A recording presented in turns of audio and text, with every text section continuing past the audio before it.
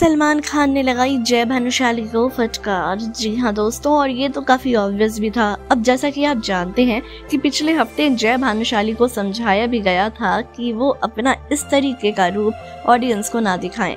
आपको बता दें कि पिछले हफ़्ते जय भानुशाली ने प्रतीक को माँ बहन की गाली दी थी। अब इसी तरीके से इसी बात पे सलमान खान ने उनको पिछले वीकेंड का कवार पे समझाया था कि उन्हें इस तरीके से नहीं करना चाहिए। उनकी इमेज अच्छी नहीं जा रही है। अब दोस्तों ये समझाने के बाद ऐसा फिर से जय भानुशाली ने किया और उन्होंने प्रतीक को फिर से माँ की गाली दी।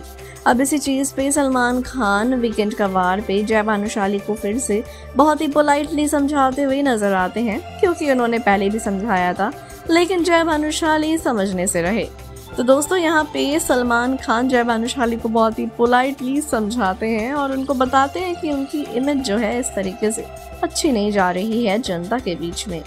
बिग बॉस 15 से जुड़ी हर खबर को पाने के लिए जुड़े रहें हमारे चैनल के साथ।